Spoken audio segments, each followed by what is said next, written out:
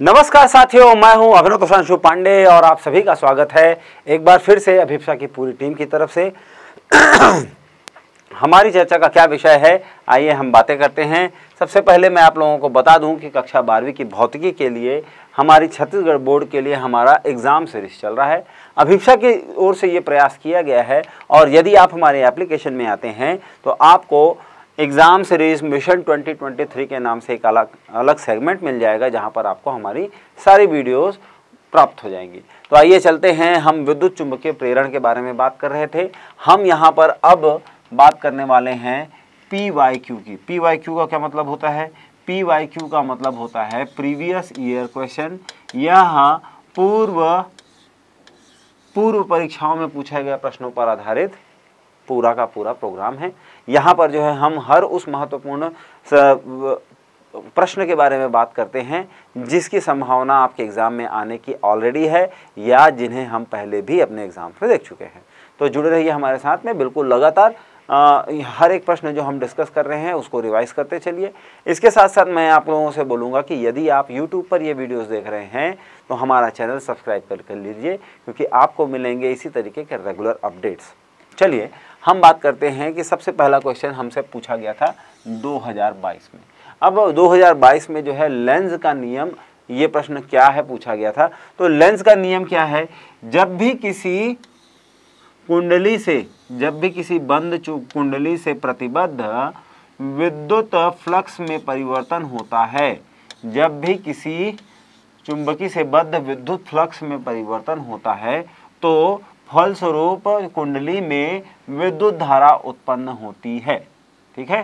तो अब जो है हम लोगों ने विद्युत फ्लक्स में परिवर्तन की दर d by by d t is proportional to I तो विद्युत धारा उत्पन्न होती है और उत्पन्न विद्युत धारा की दिशा इस प्रकार होती है कि यह फ्लक्स में होते परिवर्तन का विरोध कर सके।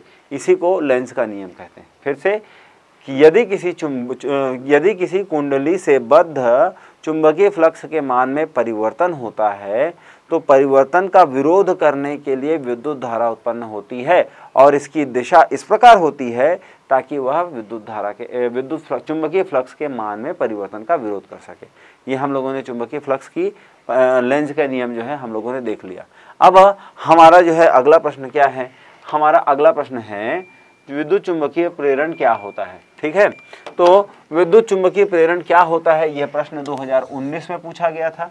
और इसके अलावा जो है, विद्युत चुंबकीय प्रेरण से जुड़े हुए दो सिद्धांतों के बारे में 2022 में भी पूछा गया है। तो विद्युत चुंबकीय प्रेरण किसे कहते हैं? सबसे पहला सवाल यही है।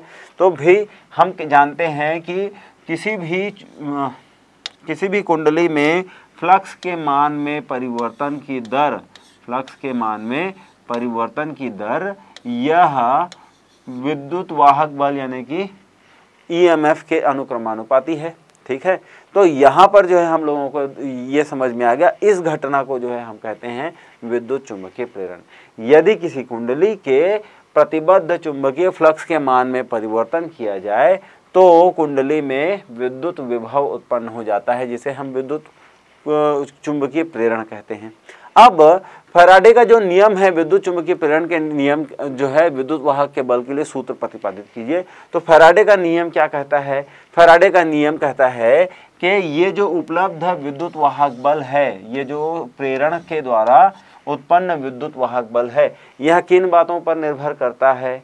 पहला है कि चुंबकीय फ्लक्स के मान में परिवर्तन की दर के ऊपर निर्भर करता है और इस प्रकार से जितनी तेज़ी से चुंबकीय फ्लक्स परिवर्तित होगा, उतना ज़्यादा जो है यहाँ पर चुंबकीय फ्लक्स उत्पन्न होगा। और यहाँ पर जब पूछा जा रहा है कि फराडे के विद्युत चुंबकीय फ्लक्स का प्रेरण संबंधित द्वितीय नियम क्या कहता है तो द्वितीय नियम के अनुसार चुंबक विद्युत वाहक बल या उत्पन्न विद्युत धारा की दिशा इस प्रकार होती है, ताकि वह उत्पन्न होने वाले चुंबकीय फ्लक्स में परिवर्तन को, का विरोध कर सके। ठीक है? तो 2022 में यह प्रश्न पूछा गया था। अब हम बढ़ेंगे अपने अगले प्रश्न की ओर। यहाँ पर देखिए कि समझाइए कि लेंज का ऊर्जा का नियम संरक्षण नियम, ऊर्जा, लेंज का नियम जो है, वह ऊर्जा संरक्षण के नियम के अनुकूल है। अब सबसे पहले जो है, हम बात करते हैं कि यहाँ पर ऊर्जा के संरक्षण के नियम की बात कैसे आती है। यहाँ देखिए, हम लोगों ने फैराडे के नियम के बाद में लेंज के जो है, इस प्रयोग को देखा और यहाँ पर जो है, यह एक धारा है और यह एक समान चुंबकीय क्षेत्र में रखी गई है। जहाँ चुंबकीय क्षेत्र को हम लोगों ने इस प्रकार से दिखाया है। अब जो है हम क्या करते हैं कि यहाँ पर यदि हम फ्लक्स के मान में परिवर्तन करने का प्रयास करें तो वो किस प्रकार से होगा? हम लोगों ने देखा कि यह एक समान चुंबकीय क्षेत्र है। हम लोगों ने सबसे पहले जो है यहाँ पर एक तार रख दिया। जिसको, जिसका नाम हम लोगों ने ए बी रख देते हैं। अब यदि इस तार पर बाह्य रूप से जो है बल लगाया जाए तो इसमें जो है कोई विस्थापन हम उत्पन्न करेंगे। और यदि यह विस्थापन डी है तो कुल मिला के जो है क्षेत्रफल में जो कमी आएगी, उसके कारण फ्लक्स में परिवर्तन होगा। तो d phi by d t और इसके लिए जो है हम लोगों को हम मतलब यहाँ पर क्या सूत्र मिलता है? तो d phi by t t और ये जो है यहाँ पर किए गए कार्य, भाई, यहाँ पर जो है बल लगा रहे हैं और बल के साथ साथ विस्थापन भी हो रहा है। तो यहाँ पर जो है, ये जो ऊर्जा है वह यांत्रिक ऊर्जा है जो कि विद्युत ऊर्जा में परिवर्तित हो रही है। तो यहाँ पर जो है, जो हमको सूत्र मिलता है F F L V F B V तो यहाँ पर हम क्या देखते हैं कि यहाँ पर कुल मिला के उत्पन्न ऊर्जा, चुंबकीय ऊर्जा असल में बाह्य रूप से किए गए यांत्रिक कार्य के बराबर होती है और इसके कारण यहाँ पर ऊर्जा के संरक्षण का नियम जो है, वह सही साबित होता है। प्रश्न 2013 का था और इसको जो है दोबारा भी आपसे पूछा जा सकता है कि ऊर्जा का संरक्षण नियम किस प्रकार से लंज के नियम के अनुकूल है। तो मुझे उम्मीद है कि आपको ये चीज़ें समझ में आई होंगी। आगे हम बात करते हैं कि स्व प्रेरण का अर्थ समझाइए और एक ऐसे प्रयोग का वर्णन कीजिए जिससे स्व प्रेरण का प्रभाव प्रदर्शित हो। देखिए क्या होता है? 2011 का प्रश्न है और 2014 का भी प्रश्न है।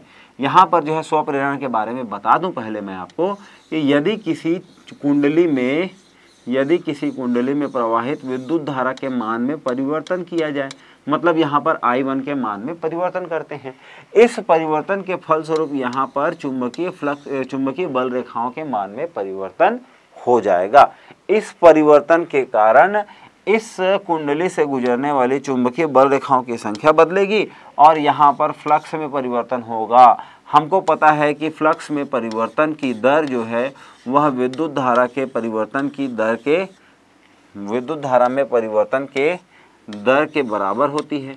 और यहाँ पर हम लोग बोल सकते हैं कि d phi is proportional to d I या फिर हम बोल सकते हैं phi proportional to L I यहाँ पर यदि यदि चक्करों की संख्या हो ज़्यादा तो जो है इसमें परिवर्तन आता है। लेकिन यहाँ पर जो है ये जो अनुपातिक नियतांक लगाया गया है, यह अनुपातिक नियतांक जो है स्वप्रेरकत्व तो कहलाता है। और यह किस प्रकार से कार्य करता है कि यदि किसी कुंडली के में प्रवाहित धारा के मान में परिवर्तन की जाए तो परिवर्तन के फलस्वरूप चुंबकीय क्षेत्र में परिवर्तन होता है और फलस्वरूप चुंबकीय फ्लक्स में परिवर्तन होता है, जिसका विरोध करने के लिए कुंडली में स्वयं ही विपरीत दिशा में धारा प्रवाहित होने लगती है और इस धारा को जो है हम प्रेरित धारा कहते हैं, जो स्वप्रेरकत्व के फलस्वरूप दिखाई देती है। अब इसमें एक प्रयोग ऐसा दिखाना है तो इस प्रयोग को दिखाने के लिए हम लोगों ने क्या किया? हम लोगों ने एक कुंडली ले ली और इस कुंडली में चुंबकीय धारा को प्रवाहित करने के साथ साथ यहाँ पर एक यहाँ पर एक बल्ब लगा दिया। अब क्या होगा कि जब जो है हम यहाँ पर विद्युत धारा प्रवाहित करेंगे, जो कि एसी करंट है तो जब तक ये धारा प्रवाहित होती रहेगी, तब तक जो है क्योंकि यहाँ पर चुंबकीय ऊर्जा जो है इकट्ठी हो जाती है तो इसलिए जो है यहाँ पर जो है बल्ब धीरे धीरे जल रहा होगा। लेकिन जैसे ही हम जो है इसका, इस परिपथ का जो है बटन बंद करते हैं या कुंजी बंद करते हैं, वैसे ही इस कुंडली में तेज़ी से जो है चुंबकीय फ्लक्स के मान में परिवर्तन होता है और इस परिवर्तन का विरोध करने के लिए विपरीत दिशा में जो धारा प्रवाहित होती है, उसके कारण ये बल्ब जो है एक बार तेज़ी से चमकता है और फिर बुझ जाता है। तो इस प्रयोग के द्वारा जो है हम देख पाते हैं कि किस प्रकार से स्वप्रेरण काम करता है। तो आशा करता हूँ कि आपको ये सारी चीज़ें समझ में आ रही होंगी। हम इसी सिलसिले में अगले वीडियो में भी पूर्व के प्रश्न पत्रों की चर्चा करते रहेंगे। जुड़े रहिए हमारे साथ में। हमारे चैनल को सब्सक्राइब कीजिए और अपने दोस्तों को भी ज़रूर बताइए। तो तब तक के लिए धन्यवाद।